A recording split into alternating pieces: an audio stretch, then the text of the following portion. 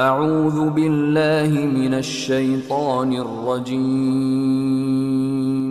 بسم الله الرحمن الرحيم.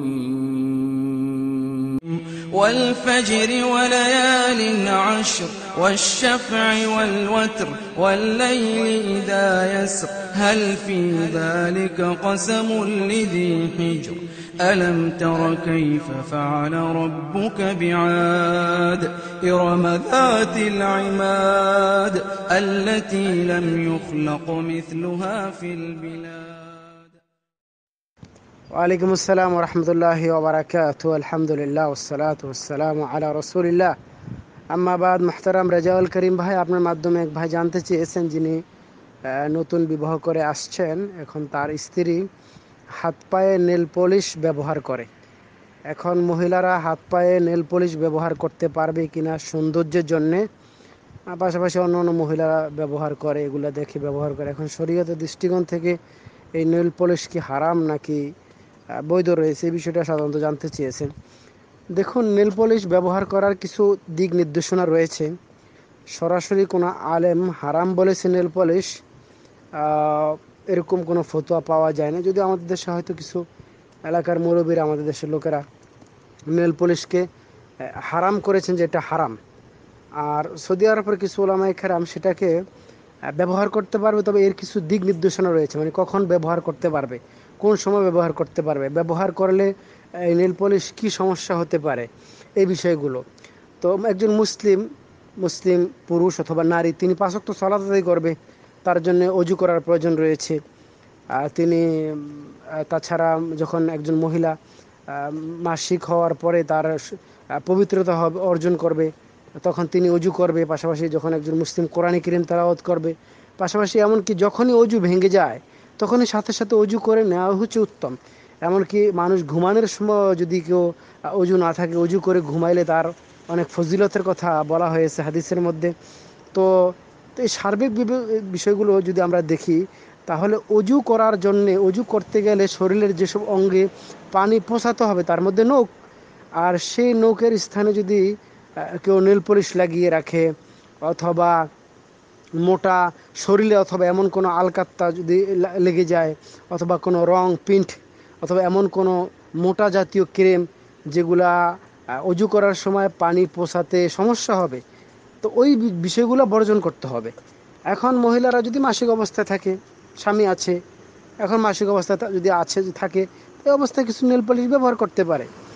এটা কোনো সমস্যা নেই। কিন্তু সত্য যেটা হচ্ছে যে যে নেল পলিশ ব্যবহার করে সলাদ কিন্তু কামাই দেওয়া যাবে না। আর সলাদ করতে গেলে তো অজু অবশ্যই। যদি সলাদ আদায় করতে যায়, তাহলে অজু করতে হবে।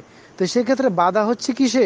নেল পলিশে বাধা অথবা রং এই জন্যে বলা হয়েছে যখন কোনো মুসলিম অজু করবে, যাতে করে এই রং যদি লেগে থাকে, রং উঠিয়ে নিবে, মোটা ক্রিম যদি লেগে যায়, তাহলে এগুলা উঠিয়ে নিবে। কিন্তু সাধারণ যে ক্রিমগুলো ইউজ করে থাকে হাতে পায়ে অথবা তেল, এগুলাতে, এগুলো ব্যবহার করাতে পানি পোষাতে কোনো বাধা নিষেধ দেয় না। তো বাধা কোথায়? ওই যে নেল পলিশ তারপরে গিয়ে আপনার রং লেগে আছে তারপরে আপনার গিয়ে আলকাত্তা লেগে আছে, যে কোনো মোটা কিছু। তো এগুলোর জন্য শুধু বাধা। তো এই বিষয়গুলো খেয়াল রাখতে হবে।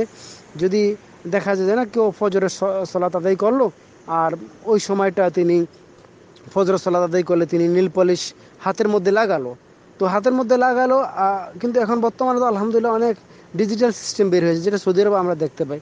নীল পলিশ রিমুভার নামে একটা বের হয়েছে। দেখা গেলো নেল পলিশ লাগালো, আধা ঘণ্টার মধ্যে, দশ মিনিটের মধ্যে শুকিয়ে গেল, আবার যখন যিনি সলাত আদায় করছেন সামনে যে ওয়াক চলে আসছে, তখন সাথে সাথে ক্লিনেক্স অথবা ছোট্ট আপনার গিয়ে যে এক ধরনের টিস্যু পেপার আছে, সেই টিস্যু পেপার দিয়ে মোরান দিলে সাথে সাথে নীল পলিশগুলো উঠে যায়। তখন আবার তিনি সলাত আদায় করে সলাত আদায় করে অজু করে, অজু করতে অজু করতে কোনো বাধা নিষেধ দেয় না বাধা নিষেধ হয় না। তো সেই ক্ষেত্রে ব্যবহার করতে পারবে। এই বিষয়গুলো খেয়াল রাখতে হবে যে মানে নীল পলিশ ব্যবহার করাতে বাধা বাধা মানে যে, যেসব জায়গাতে। তো আমরা সর্বোপরি বলব, যেহেতু নেল পলিশ এটা একটা মানে এটা একটা ঝামেলার বিষয় আবার উঠানো, আবার ই করা, অথবা নেল পলিশ ব্যবহার যদি কেউ হাতে লাগায়, অনেক সময় নারী পুরুষদের হাত খোলা থাকে, যেহেতু আলেমদের এরকম মাসলা রয়েছে যে মহিলারা অন্তত হাত খোলা রাখতে পারবে। তো সেই ক্ষেত্রে হাত যদি খোলা রাখে, এই যে এই যে এই যে সাজ, এই যে তার সৌন্দর্য অন্য পুরুষ উপভোগ করছে, তো এই এই ক্ষেত্রে হয়তো আমার স্ত্রীকে আমি বলো কখনোই ব্যবহার করার জন্য আমি উপদেশ দিব না।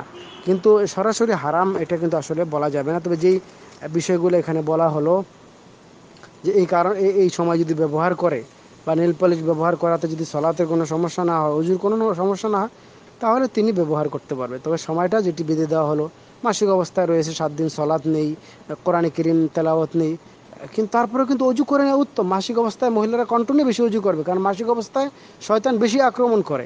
তো সেই ক্ষেত্রে কি অজু করে নিতে হয়?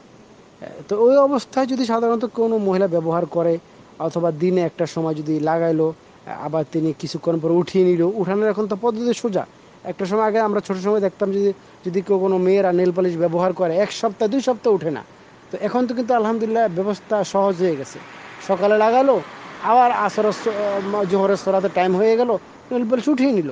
এটা একটা বিষয়। আর ছোটো মেয়েরা যদি ব্যবহার করে হ্যাঁ যেসব যাদের উপর এখনও সলাফ ফরজ হয়নি, এসব মেয়েরা যদি ব্যবহার করে, এতে কোনো সমস্যা নেই। কিন্তু কিছু বাধা নিষেধ রয়েছে যেখানে বলা হলো আর কি। তো আশা করি বিষয়টি বুঝতে পারলেন যে কোন কোন সময় মহিলারা নেল পলিশ লাগাতে পারবে আর কোন সময় লাগাতে পারবে না। আর নেল পলিশ লাগা যদি কেউ লাগায়, তো সেখানে বাধা অজু করাতে হ্যাঁ যদি অজু করে তাহলে তাকে পানি পোষাইতে হবে। এখন তিনি বিবেচনা করবে তিনি নীল পলিশ ব্যবহার করবে কি করবে না। তো মুসলিম মেয়েদেরকে আমরা উৎসাহ করছি না যে নেল পলিশ আপনারা ব্যবহার করেন। কিন্তু যে সময়টা ব্যবহার করাটা বৈধ রয়েছে যেমনটা বলা হলো আর কি। আহ, এশার সালাত আদায় করেছে। হ্যাঁ এশার সালাত আদায় করে হয়তো স্বামী আছে স্বামী আসবে কোথায় থেকে একটু সাজা দিল মেয়েরা। সমস্যা নেই হাতে নেল পলিশ লাগাইতে পারে। কিন্তু আবার কখন? আবার যাতে করে ওই ফজরের সলাতের আগে উঠিয়ে নিতে হবে। হ্যাঁ কারণ তাকে ফজরের সলাত আদায় করতে হবে। এই সময়টা যদি সৌন্দর্যের জন্য ব্যবহার করা হয়, তাহলে হারাম হবে না। আশা করি বিষয়টি বুঝতে পারলেন। জাকাল্লা খের ও বারেক আল্লাহ ফিক আল্লাহ সুবাহ তালা আমাদেরকে বোঝার তৌফিক দান করুন। যে বিষয়গুলো আলোচনা করলাম, এগুলো বেশ কিছু আলেমদের গবেষণা থেকে কথাগুলো বলা, আলেমদের যে মদগুলো তিনি আলেমরা ব্যবহার করেছে, নেল পলিশ কেউ বলেছে হারাম, কেউ বলেছে বৈধ। তো যারা বৈধ বলেছে, তাদেরকে এই কিছু বিষয়গুলো আমরা উপস্থাপন করলাম। বাকিটা আল্লাহ ভালো জানে, আশা করি বুঝতে পারলেন। জাকাল্লা খের